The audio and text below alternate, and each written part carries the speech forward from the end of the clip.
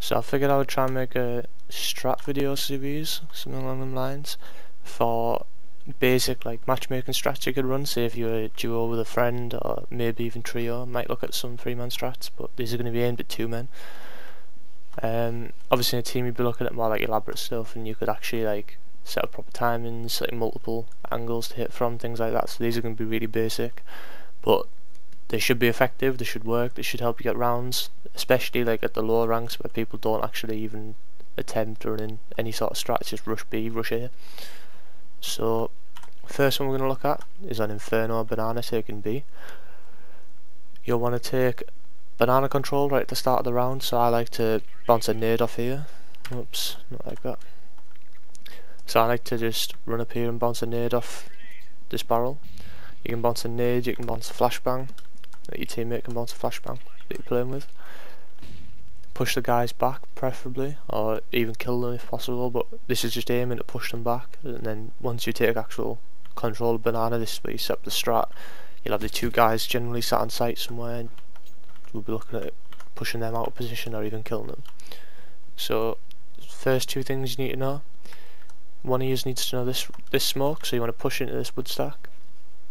You want to aim in line with this post, up to the height of this post, so something like this.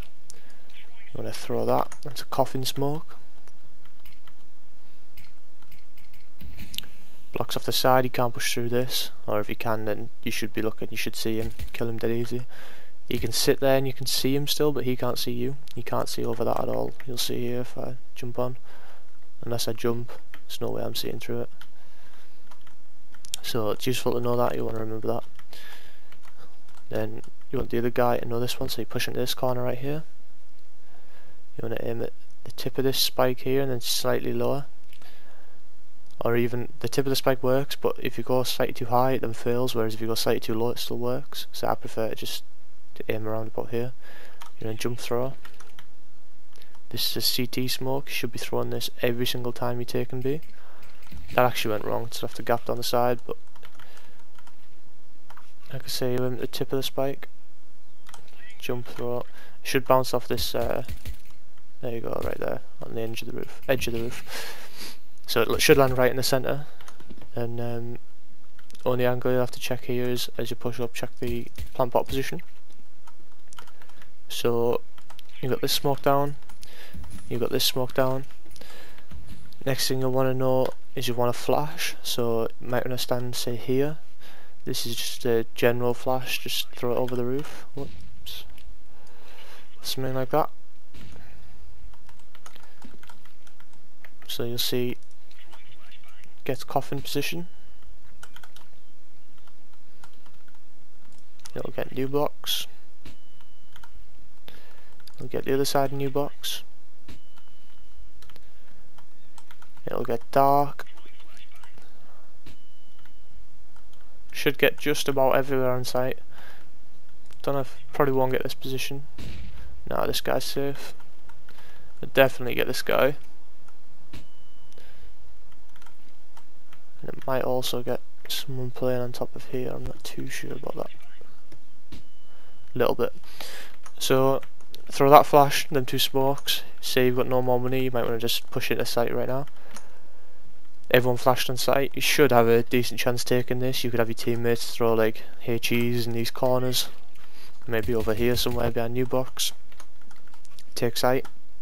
we get the bomb down, there's a round for you. If you've got a little bit more money, here's some helpful molotovs you can throw. So the one I would say is the most important is you want to aim at the left corner of this hut right up here. You want to throw this. That helps clear out new box, so he couldn't run left unless he wants to hide behind second oranges, but you'll see him do that, so it's pretty bad. He's generally going to run this way and try and get to dark, so be ready to shoot him when he comes out. Another good Molotov is uh, standing in this corner right here. Find this wooden post and follow it out to the edge of the tiles. Then aim slightly right, not too much, just a little bit. Then jump throw. Doesn't look like it burns there, but it does, trust me. So it gets up here, down here. That clears out two of your positions you want to be checking. I really like that Molotov because this angle's sometimes quite difficult to deal with because you'll get a kill and then you'll drop back and then you've got to clear out this angle or you can even fall back again and then you're probably going to lose another kill to that guy if you don't play it right. So I just like to push him off there immediately. So you throw them two Molotovs, these two smokes, that flash. You've probably got site without them to take a fight. The only place they could be is uh, dark or second oranges. They could be hid behind fountain, I guess, but it's not too good a position. So say if you've got your HE left over, you might want to just throw it in dark, do some damage to that guy. And then you don't have to clear this position, so you could just focus on this one and that one. You've got at least two of you in here, you, your friend, hopefully the team's followed you. And then you should have site without having to take any aim fights. That's, that's the aim of this strategy. You shouldn't have to be like just peeking people, taking like long fights like this. I see people do all the time. See people always jiggle peeking this, hoping they can just the guy. When really that's a bad fight. You shouldn't be taking that. You should be just smoking him off and getting into site, and trying to get the bomb down, win the round. So hopefully this is useful. Hopefully you liked watching it. Hopefully it helps, and hopefully you'll come back for the next one. Enjoy.